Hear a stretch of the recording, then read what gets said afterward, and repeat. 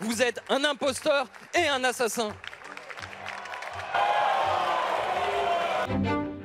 Monsieur, monsieur le ministre, je pense que la, la pénibilité des anciens n'est pas une affaire d'amis imaginaires. Vous êtes répondre.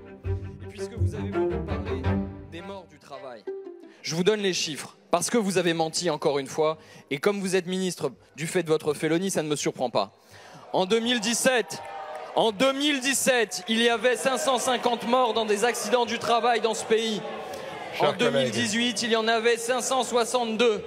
En 2019, il y en a eu 733. Et je ne compte pas les accidents de la route, évidemment. Ce qui signifie qu'entre 2017 et 2019, c'est 33% d'accidents du travail causant la mort en plus. Donc vous ne pouvez pas arriver ici et me dire que la suppression des CHSCT n'a eu aucun effet. Ce sont 150 orphelins, veufs, veuves en plus, et vous avez la responsabilité de ces choix politiques. Vous êtes un imposteur et un assassin.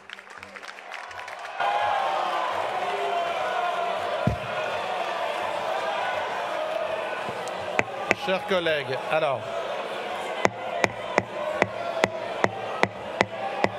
Ne hurlez pas, je suspends deux minutes.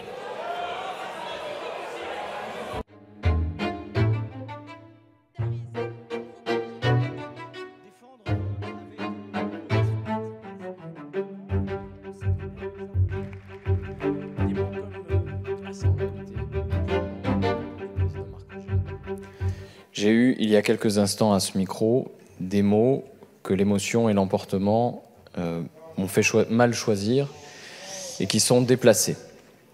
Je souhaite évidemment les retirer et adresser des excuses publiques au ministre et je me tiens à sa disposition pour avoir un échange plus personnel et lui présenter à nouveau mes excuses. J'entends vos excuses, mais vous comprendrez qu'être traité d'assassin ne se pardonne pas. Par contre, ces excuses ont un mérite, c'est qu'elles permettent au débat de continuer, et c'est mon seul souhait.